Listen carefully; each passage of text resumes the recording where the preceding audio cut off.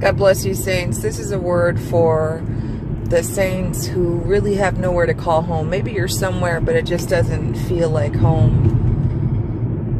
Maybe you're actually homeless. There's a lot of saints on the road with families and kids and animals staying at hotels and motels and couch surfing and Airbnbs. And again, some just staying places where they just would rather not be. In Matthew 8, Jesus is talking about how everything seems to have a place to call home.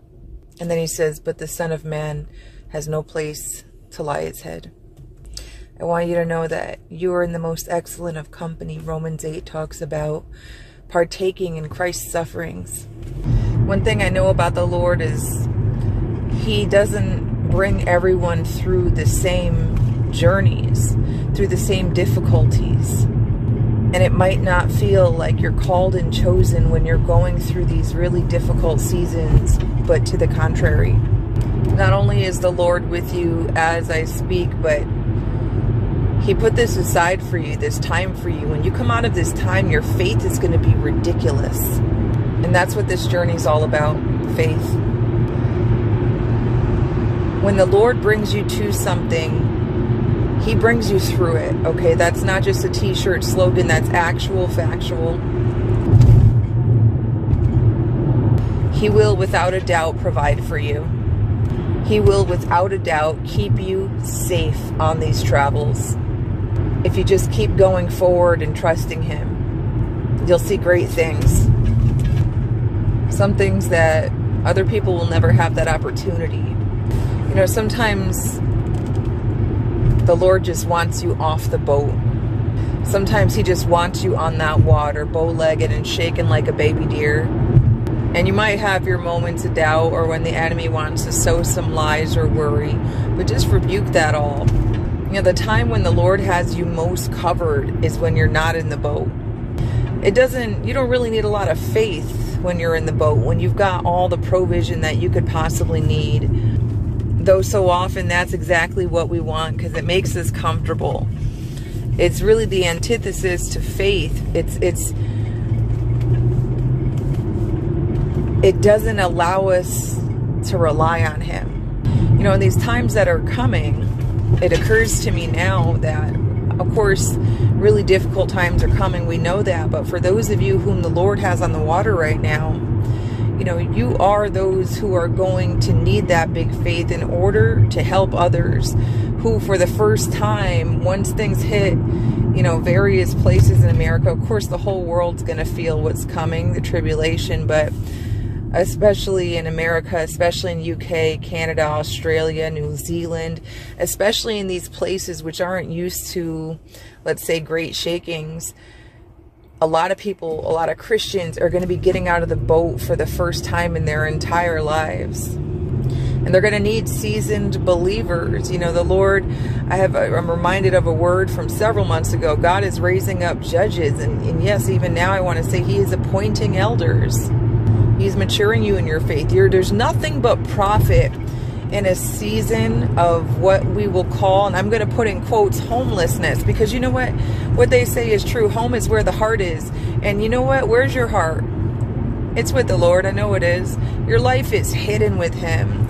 And so, though you may be again on the road or, you know, in these in these difficult situations, some of you in places that you have a roof over your head and you're grateful, but it just doesn't feel like home, you know, and maybe you're in a place with a lot of people who don't know the Lord or don't love the Lord or don't act like the Lord. And He knows that's difficult, but He's also not surprised by where you are and, and He will keep you. And as He moves you forward, don't go backwards. I believe there is a time where God was leading the Israelites through the wilderness and he actually took them the long way intentionally so that they wouldn't turn back. Sorry for the darkness. You know, I recorded this like a little while ago um, when it was still light out, but it wasn't the right word. You just feast on the bread of life. You just drink up all that living water, saints You just learn all these lessons because that's what it's like. It's like boot camp, okay? It's boot camp. You're going through. Uh, why? Well, the phrase that came to my heart was a rite of passage. But these these situations are preparing you to prepare others and I want you to know that if you have children with you, you've got little ones with you, they're they're so safe and the Lord will send angels to minister right with you, to war right with you and for you. Stay in the joy of the Lord because you never know uh, who's gonna who you're gonna cross on your path that just needs that that that how do you say that that Lord's joy from you So we hit, um, I wanted just to hit Matthew and Romans 8. Matthew 8, uh, the Lord said, even uh, the Son of Man has no place to rest his head. And then I wanted to hit Romans 8, which talks about being a partaker in Christ's sufferings. And how much more than to, to not really have a place to call home. It's really difficult but He won't leave you, He won't forsake you, and He's chosen you to endure this. Endure with gladness, get out those journals, you creative people, uh, get out your instruments, you know, write some songs, write some poetry, some spoken words, some journal entries, get out your highlighters in your Bibles, you know, really keep your eyes peeled for, for the miraculous, okay? In these situations, suffering is never in vain. It's it's not wasted. Learn to rejoice amidst the craziness because you're learning to rest in just such an incredibly deep way in the Lord so that when the these great great shakings come to the the places that I've listed earlier that'll just be like shallow water to you you know and you'll be helping people wade into the water wade in the water Wade in the water now. Wade water.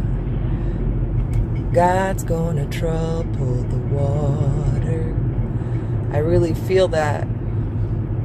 I really feel that the Lord is going to bring these great shakings to places that are not used to it so you continue getting prepared. You're going to come out of this with that super duper Jesus faith, saints. Have no worries, have no fear. Beloved, the Lord has gone ahead of you and made a path and made a way, and all you have to do is rejoice. You're in the hand of your Lord. No place better to be. Please don't expect your walk to look like everyone else's, saints, because I'm talking to people whom the Lord has specifically, decidedly carved out a path for you that doesn't look like everyone else's path. So just rejoice in Him, give Him thanks, learn up every lesson you can, because you know what? Every season must pass at one time or another. The Lord goes before you and He is with you.